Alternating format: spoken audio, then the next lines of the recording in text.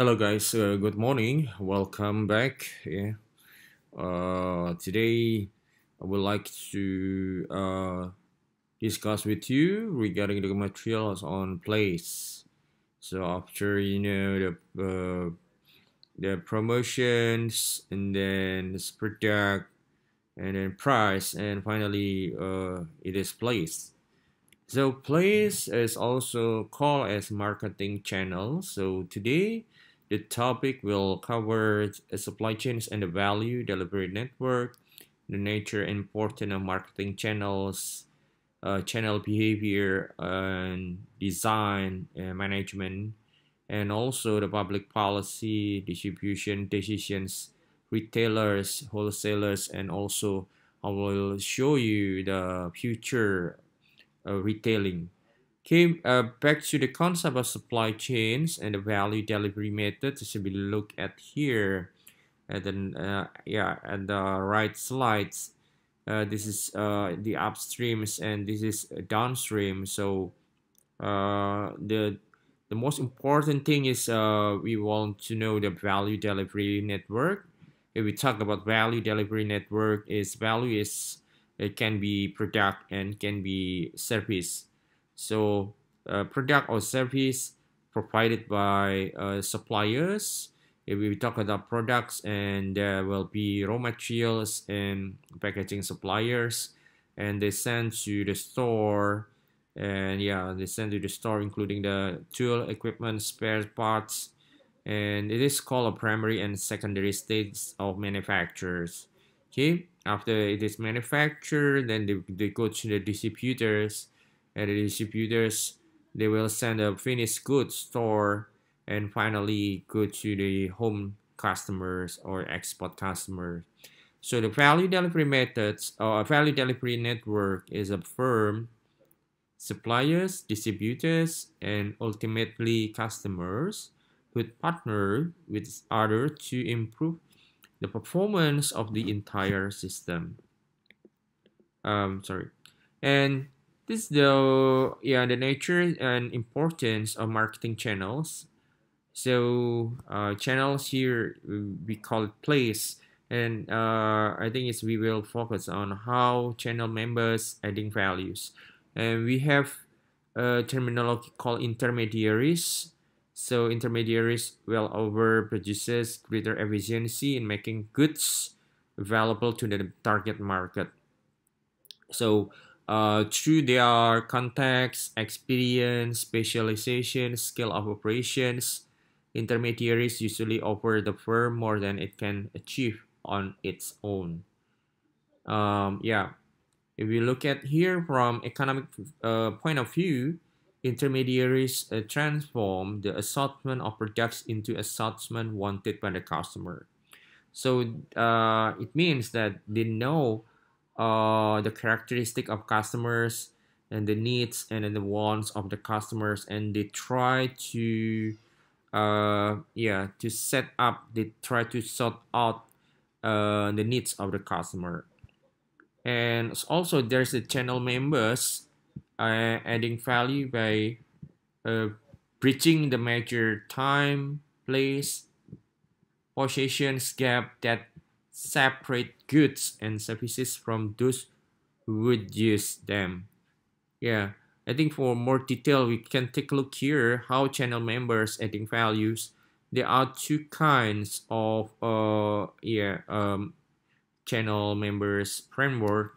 The left one we call it the, the, the manufacturers and the customer. So from the manufacturer directly go to the customer here and we have uh, nine combinations. And if we look at here there is a distributors in between manufacturer and the customer.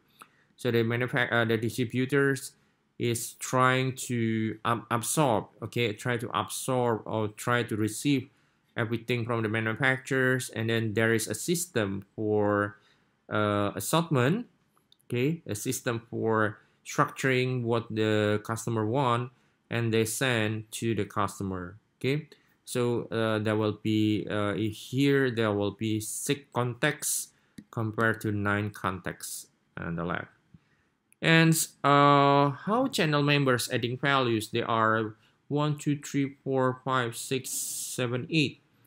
Eight uh, characteristics. And the first one is informations. So the gathering and distributing, marketing research and intelligence. It means that this is the job for the marketing people to see and to understand what the customer wants.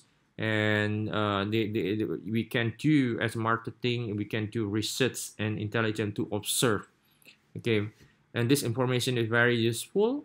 And that information is uh, collected by the distributors or the intermediaries for example. And also promotion we can set up the promotions.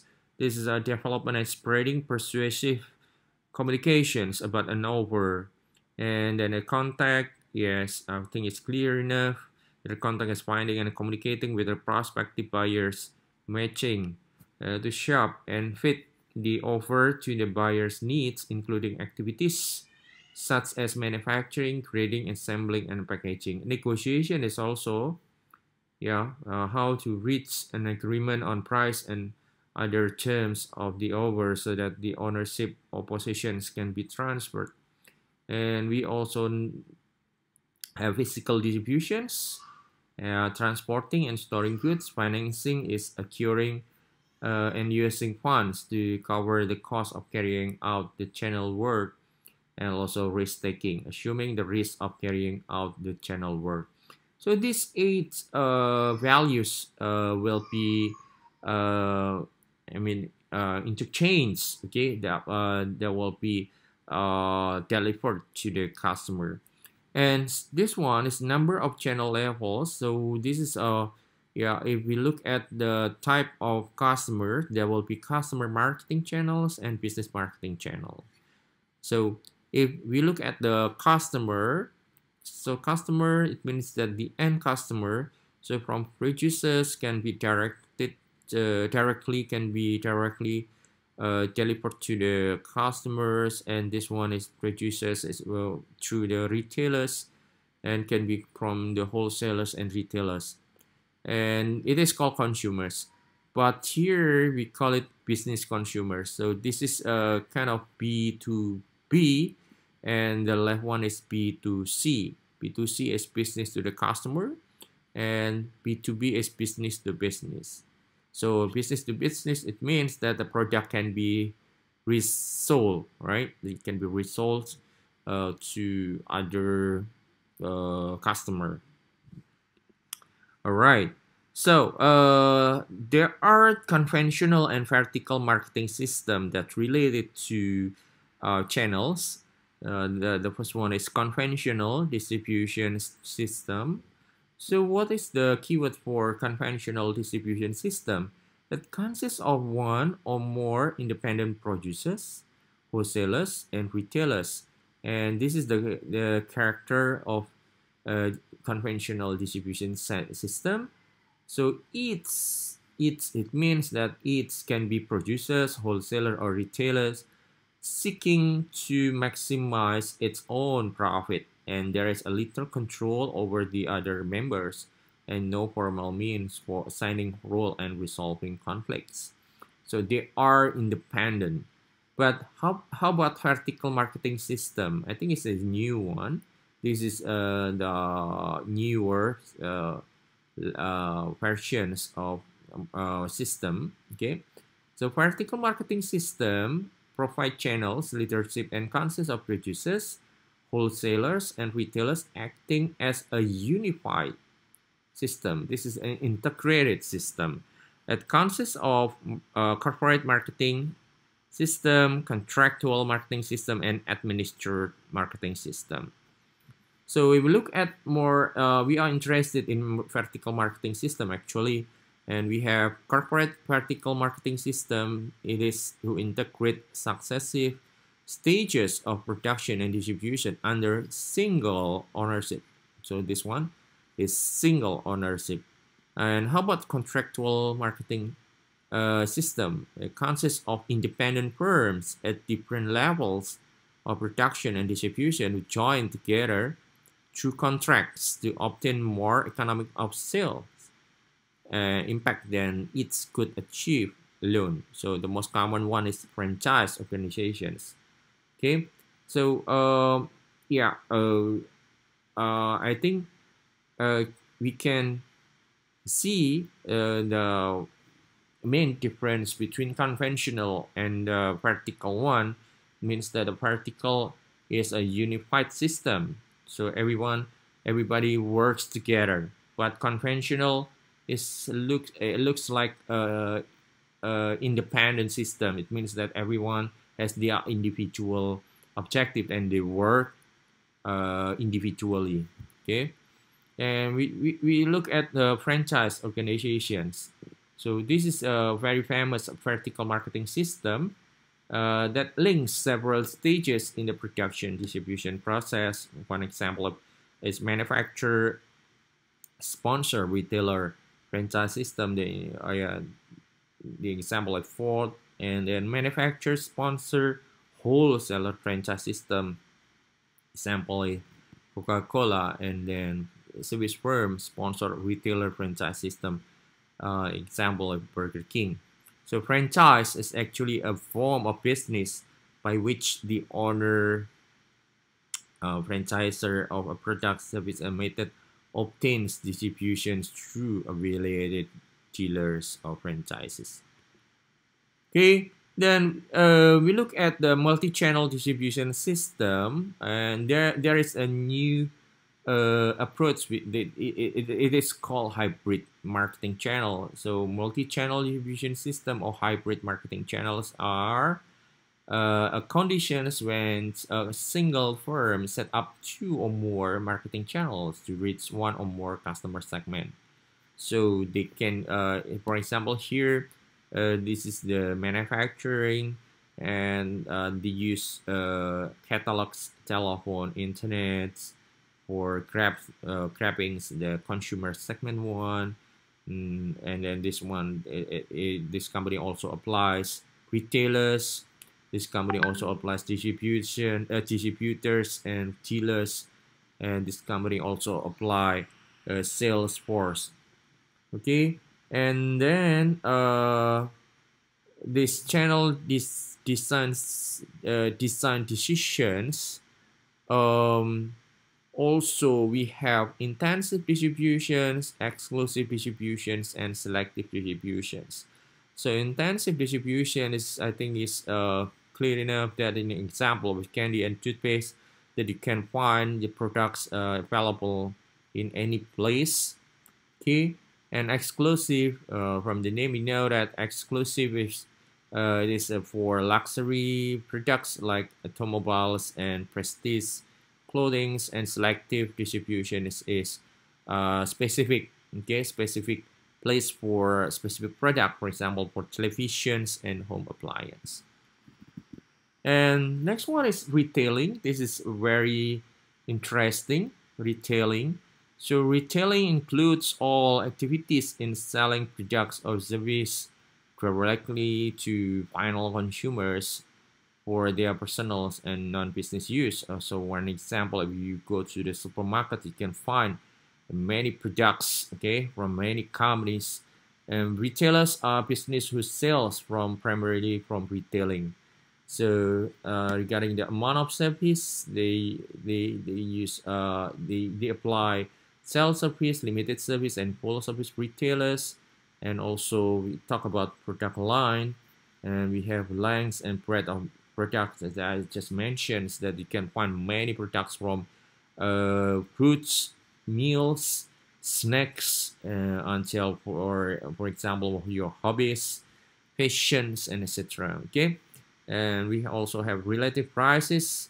Yes, price structure that is used by the retailers can be uh, it means um, can be dynamic. It means that a similar price sometimes you can find the discount uh 50% off until 90% off and buy buy one get one free for example and other other uh, relative price promotions okay and also retail organizations can be independent corporate or contractual ownership organizations so the types of retailers according to the product line we have specialty stores that narrow product line with deep assortment And we have department store, just as just mentions, uh, that consists of wide variety of product lines.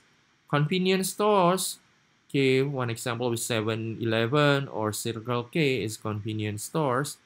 They, uh, it is uh, similar to department store, but it's uh, smaller, okay, and a limited line of high turnover products. This is limited line of high turnover products of goods, okay a number of product is very limited. And then we have a supermarket, low cost, low margin self service. Uh, one example, if um, for example, um, Hero Supermarket or uh, Transmart, okay, Transmart in the supermarket, they have a supermarket. And also category killers deep in category with sales stock. Okay, and the type of retailers uh yeah uh, in terms of pricing they have discount stores i don't know in um, yeah uh, maybe in indonesia it, it is similar to factory outlets so you have a specific uh, special store that uh, yeah uh, promoting products with high discount, for example, and then we also have uh sorry uh, also have uh, off-price retailers and also warehouse club. So warehouse clubs is uh, usually used for uh, for uh, offering products with uh, lower price. There is in a specific day, for example, like a bazaars, right? In Indonesia, maybe um, you can take a look uh, uh, right? Kedaung that uh, that's selling uh, kitchenware, for example, like that. Okay, and they open bazaar uh, on uh, weekend. And uh, retailers' uh, marketing decisions actually also uh, the same uh, with the the theory that you already learned so far. So they also apply segmentation, targeting, differentiations, and positionings that involving the definition and profile of the market so other retail marketing decisions can be made. So I think it's the, the same thing, okay? And then for future retailing, the future retailings have to consider what? Non-store retailing, okay? Non-store. So they don't have any stores like online okay like we, we, we know tokopedia and then you know uh, many online platform right e-commerce and retail convergence the merging of consumers producers prices and retailers creating greater competitions for retailers and greater difficulty differentiating offerings and mega retailings mass merchandising and specialty superstores, the formations of vertical marketing system, and also retail technology, global expansions, retail store and community. So I think right now as we talk about future retailings, um, it is uh, uh, can be online retailings, okay, uh, and supported by uh, information technology, okay. So, uh, okay, and uh, this is uh, one example of future retailings, and it is adopted from Amazon Go. So, uh, please take a look. It is a two minutes video uh, so that you understand the concept of future retailings. Four years ago, we started to wonder what would shopping look like if you could walk into a store, grab what you want, and just go? What if we could weave the most advanced machine learning, computer vision, and AI into the very fabric of a store so you never have to wait in line? No lines, no checkouts, no registers. Welcome to Amazon Go. Use the Amazon Go app to enter then put away your phone and start shopping. It's really that simple. Take whatever you like. Anything you pick up is automatically added to your virtual cart. If you change your mind about that cupcake, just put it back. Our technology will update your virtual cart automatically. So, how does it work? We used computer vision, deep learning algorithms, and sensor fusion, much like you'd find in self driving cars. We call it Just Walk Out technology. Once you've got everything you want, you can just go. When you leave, our Just Walk Out technology adds up your virtual cart and charges your Amazon account. Your receipt is sent straight to the app, and you can keep going. Amazon Go. No lines, no checkout. No, seriously.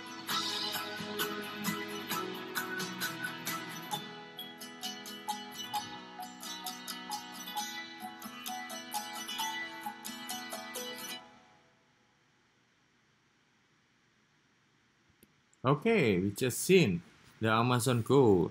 So just walk out. Uh, supermarket, just walk out. Convenience store, just walk out. Retailing. Okay, this is the next generation retail. And then next one is wholesaling. So wholesaling is including all activities involved in selling goods on services to those buying for resale or business use. Okay, so this the keyword is for resale. So you buy with a lot uh, uh, portions, lots portions, lot amounts, and with specific price, special price. Mean then it is for reselling. And uh, yeah, buying assortment building, bulk breaking, warehousing, transportation, financing, bearing, market information, management service, and advice. So all those criteria, uh, yeah, engaged in wholesaling. And the type of wholesalers, we have merchant wholesaler, we have brokers or agents. I think broker or agents, uh, I think it's quite often we heard uh, these terms, right? And manufacturers, sales, branches, and offices. So uh, if we look at here, in the merchant wholesalers, it is independently owned business, owned business that takes title to the merchandise it handles, and merchants can be uh, yeah it is uh full large quantity for manufacturers. So merchant uh, wholesalers is quite common that it is a, a company that buy large number of uh, products from for example, from man, uh, Unilever's, for example, Unilever's, uh, um, yeah, Unilever's products, and then um, they will do reselling. Okay, and how about brokers or agents? So brokers or agents, they don't take title to the goods, and they perform only a few functions.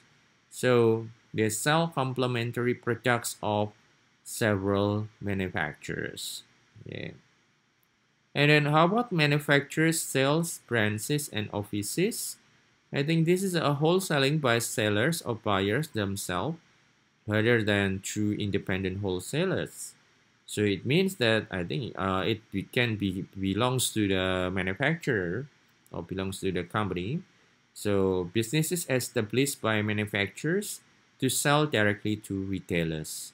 So I think for manufacturers, sales branches, and offices, it is owned by manufacturers itself.